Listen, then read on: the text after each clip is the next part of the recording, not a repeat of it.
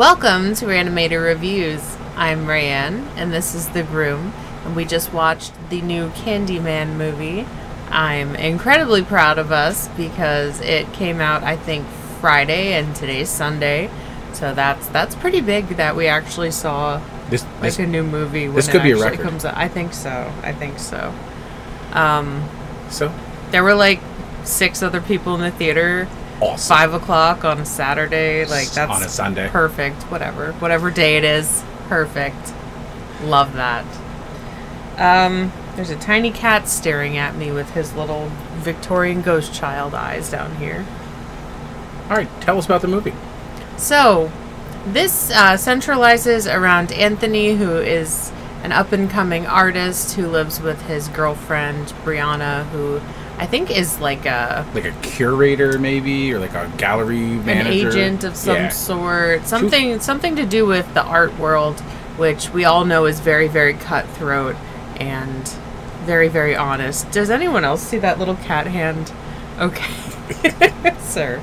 Um and you can tell, you know, maybe he's struggling a little bit.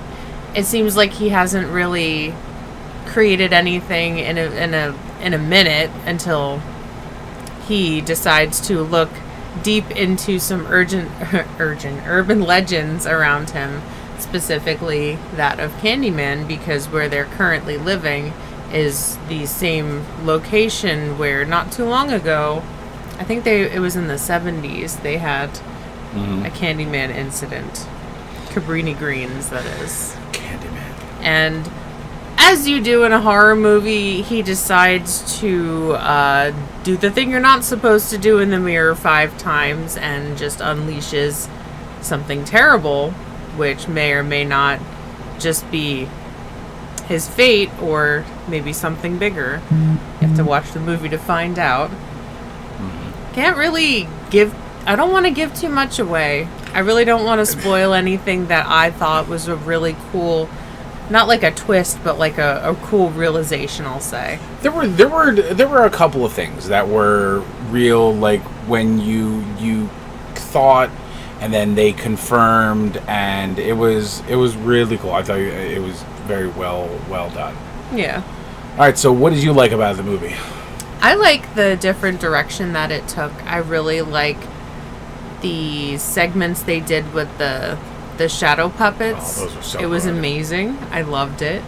I loved the gore, obviously. I love I love how they really used current events and portrayed them, you know, using the the story that we all know so well of Candyman Mm-hmm. it, it just it worked out perfectly it was incredibly sad but it worked out perfectly i think it was great I think I think it was a I think it was uh, good on. Didn't Jordan Peele direct this? he didn't direct Or it he was like um, a producer or something. he produced it i think he helped write it but Yeah, the it- director was nia i can't remember the last name I uh, I really love the direction they went. They went and with with the with the the whole uh, message they're trying to por- portray through the movie using a classic a classic icon like Candyman to deal with stuff that's going on in the world today. I thought that was ingenious the way they did it. I did. I loved the all the all the mirror stuff they did was fantastic in the movie. Um, I, I, I loved it. I thought the I thought it was shot very very very well, and the ending was fantastic. yeah It had us both turn and go. so it was other. like it was it was really great. I think I think they ended it perfectly, and I really really really enjoyed the movie. It What didn't you like? Um.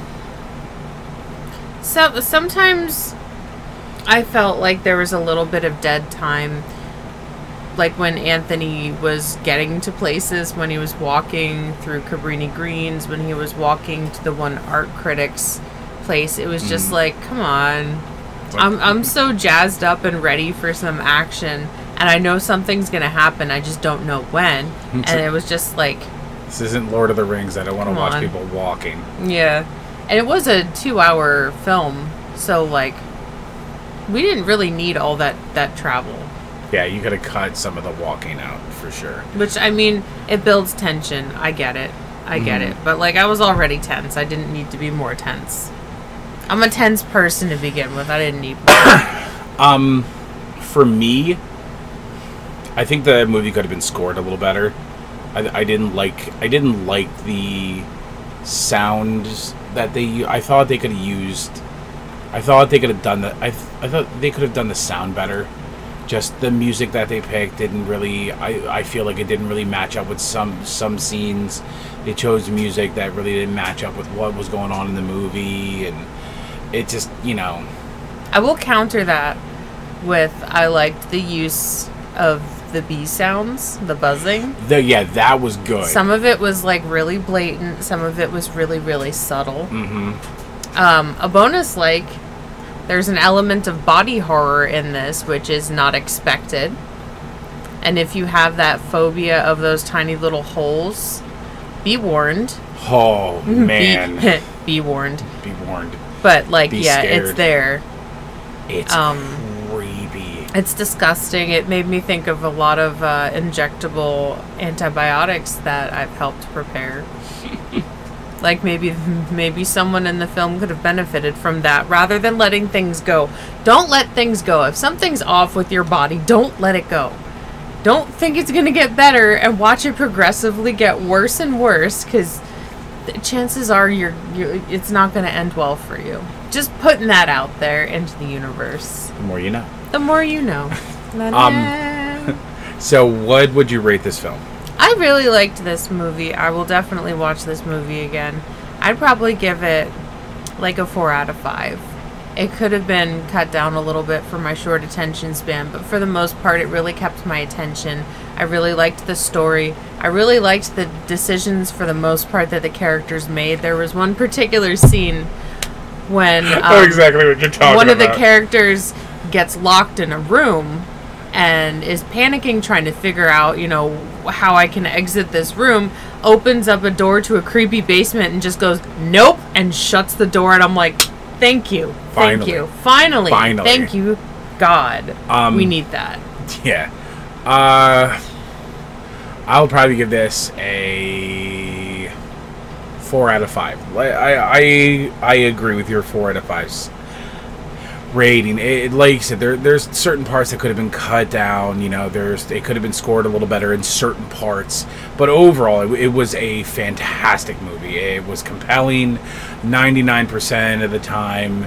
You know, and it had a lot of it had some good surprises in it, some very amazing gore in it, it which was not expect. I I knew there would be some. I didn't know there would be this much yeah and it was fantastic. And there's a lot of stuff I really liked about this. I really can't talk about because we're spoiler free, but it was a great movie, definitely worth the watch. Um, and it's great in theaters. And like I said, we'll probably watch it again once it comes out i'll probably buy it DVD or streaming service or whatever. We will more than likely buy it because uh, I definitely would like to watch this again.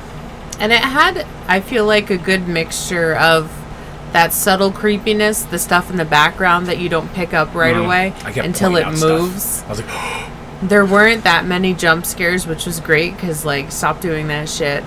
Um, there were a lot of things that you just those lingering shots of things you really don't want to be watching that were, like, right in your face.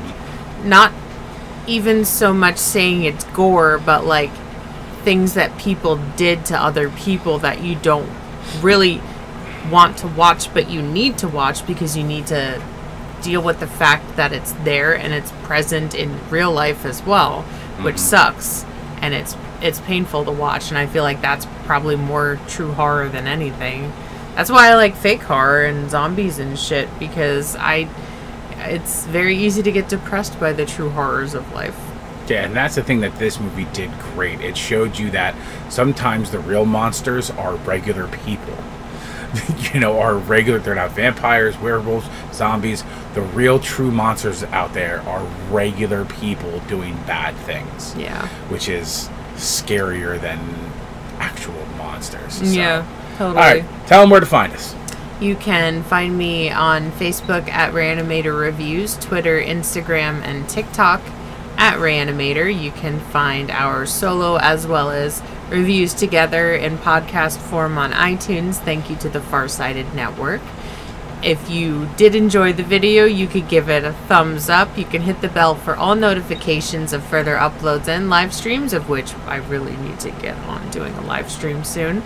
Um, Speaking of live streams, you can find me on Twitch under Repeat Ray Animator. You can also follow me on uh, TikTok under Repeat Ray Animator and on Twitter under Repeat Groom Ray. And please don't forget to leave a comment. Let us know what you thought of the film if you did see it. Try not to drop any spoilers if possible. Um, Yeah, let's not ruin the movie for other people. yeah, but I'm I, I'm pretty excited now that I can watch like my peers' videos that have spoilers in them now. I don't have to like watch half of it and then stop. Yes. Yes, So, that is always a definite advantage. That's pretty exciting. that's, that's the advantage to watching movies when they first come out, babe. so now I can watch um, the Horror Guru and Count Jackula's review finally. Yes. But let us know your thoughts. Hope everyone's having a good month. It's almost September. I guess that's exciting. It's almost Halloween. It's almost Halloween. That's all I care about. It's either always almost Halloween or it is Halloween. There's two states of being. But hope everyone's having a good night and we'll see y'all later. Bye. Bye. No, no, no, no, no, no. We're gonna record you eating cheese. this is gonna be. This is how we test the mic today. Is you eating cheese? All I wanted was a piece of cheese this morning, and you ate all of the lunch meat cheese. I don't know when, but I was like, oh, I'm gonna have a slice of provolone. No. Negative. You spent how many years of your life not eating cheese? You'd think you'd be used to it. No.